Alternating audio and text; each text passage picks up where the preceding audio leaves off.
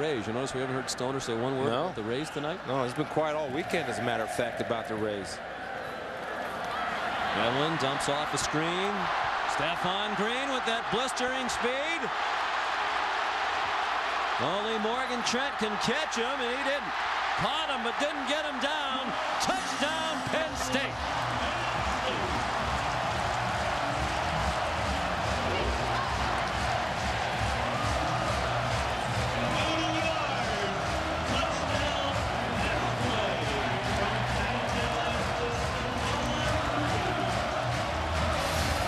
Well, they've had this a couple times tonight, and don't think you run free just to run free. You see, all the rushers do not retrace their steps, and when you give this guy this much room, he'll make you pay. And it's a good job of Morgan Trent running him down. Sean Green aware makes the cutback to seal the deal.